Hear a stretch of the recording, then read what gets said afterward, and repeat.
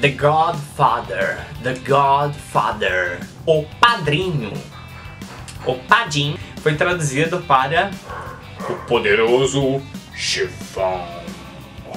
De padrinho para poderoso chefrão há uma diferença muito grande. Mas o título ele é mais forte em português. Eu achei nesse caso o título em português melhor do que o original. Aquela onda de títulos que traga o filme The Graduate, ou seja, o graduado, aquele que terminou o curso de graduação, sei lá o que, é graduado. Enfim, foi traduzido para A Primeira Noite de um Homem. O pessoal do Pipocano deve estar se remoendo de raiva. Annie Hall. Annie Hall, que é um filme do Woody Allen, foi traduzido para Noivo Neurótico, Noiva Nervosa. Analyze this, analyze this, ou seja, analisa isto. Foi traduzido para A Máfia no Divã. Com Robert De Niro. Títulos ridículos. The Good Girl. A Boa Garota. Foi traduzido para Por um Sentido na Vida. Eu tô procurando um sentido para essa tradução. Hoodwinked, significa enganados ou pegos por engano, né? Como é no caso do filme foi traduzido para Deu a Louca na Chapeuzinho. Gente, agora estamos na, entrando na categoria dos filmes que tem como título Deu a Louca. Toda vez que tiver um filme chamado Deu a Louca, desconfiem desse filme.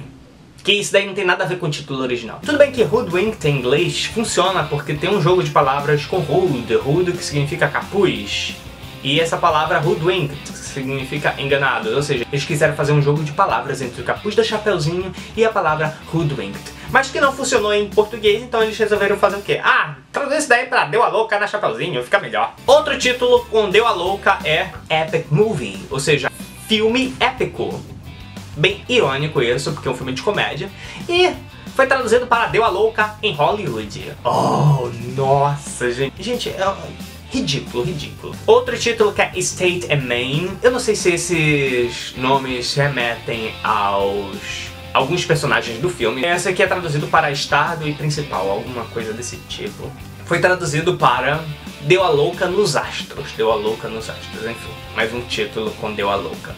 The Boy, ou seja, o garoto. Um título que não remete a nada, remete a um garoto, né? Você imagina assim, um garoto, é uma história de um garoto. Tá. Mas você vai assistir um filme de suspense. Só que em português, o filme foi ridiculamente traduzido para O Boneco do Mal. Ou seja, gente, quem é que vai sair de casa? Quem é que vai sair de casa pra ir assistir um, um filme chamado O Boneco do Mal? The Green Mile, The Green Mile, ou seja, A Milha Verde foi traduzido para A Espera de um Milagre. Acho que eles queriam obrar realmente o um milagre desse título, porque realmente foi um milagre, que o filme fez sucesso, filme com Tom Hanks e o que é o Mr. Catra. Ali no filme ninguém tá esperando por milagre nenhum. O cara lá é o próprio milagre, então não sei porque o filme se chama A Espera de um Milagre, enfim. The Birdcage, ou seja, a gaiola, foi traduzido para a gaiola das loucas, só porque tem gays no filme. Gente, olha a homofobia, olha a homofobia! 50 First Dates, ou seja, os 50 primeiros encontros.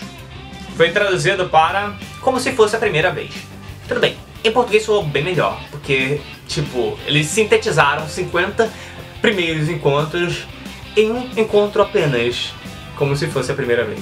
Sacada de gênio. Sunset Boulevard, Boulevard do Pôr do Sol, foi traduzido para O Crepúsculo dos Deuses. Ou seja, você pensa que é um filme sobre mitologia grega, não tem nada a ver com mitologia grega, tá? Infelizmente. Dumb and Dumber, ou seja, burro e mais burro, foi traduzido para Debbie e Lloyd. Tudo bem que tem um cara no filme chamado Lloyd, mas isso não justifica ter traduzido burro e mais burro para Debbie e Lloyd. Se bem que ficou legal em português. Tá, vamos perdoar, isso daí a gente perdoa. Só Serra foi traduzido para Jogos Mortais. Police Academy, Police Academy, ou seja, Academia de Polícia, foi traduzido para Loucademia de Polícia. Justamente porque é um filme de comédia maluca, tipo daqueles pastelões. Eu adorava esse filme quando era pequeno, eu dava muita risada assistindo esse filme. É muito engraçadinho. Sister Act, ou seja, o ato da freira foi trazido para mudança de hábito.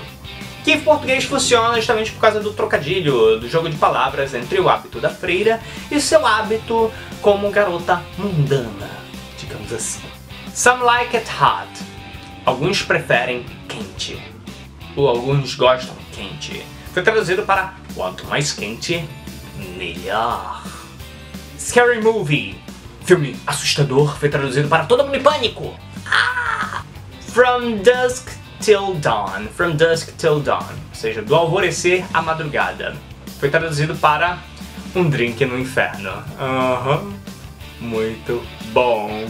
Weekend at Bernie's. Ou seja, final de semana no Bernie's. Foi traduzido para O Morto Muito Louco. Justamente porque ele dança.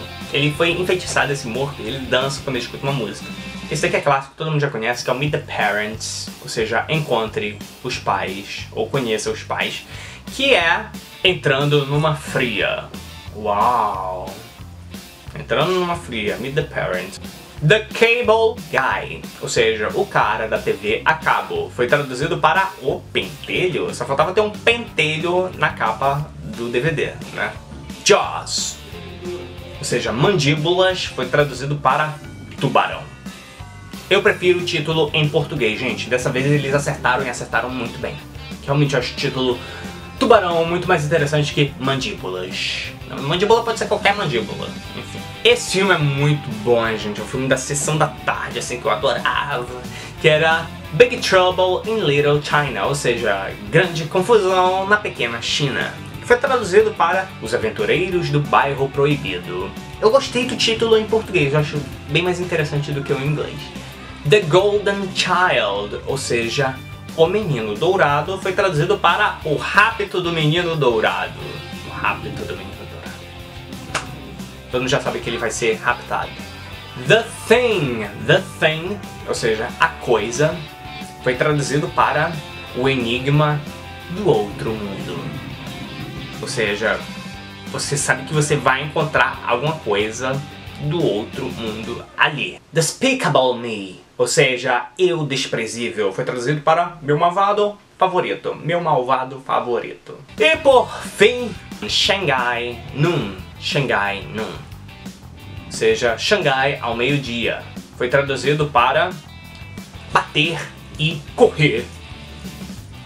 Nada a ver. Então é isso, gente. Espero que vocês tenham gostado. Se vocês gostaram, se vocês aprenderam alguma coisa, deem um like, deem seu like aqui. E se inscrevam no canal, vem muita novidade por aí. Análise de filmes.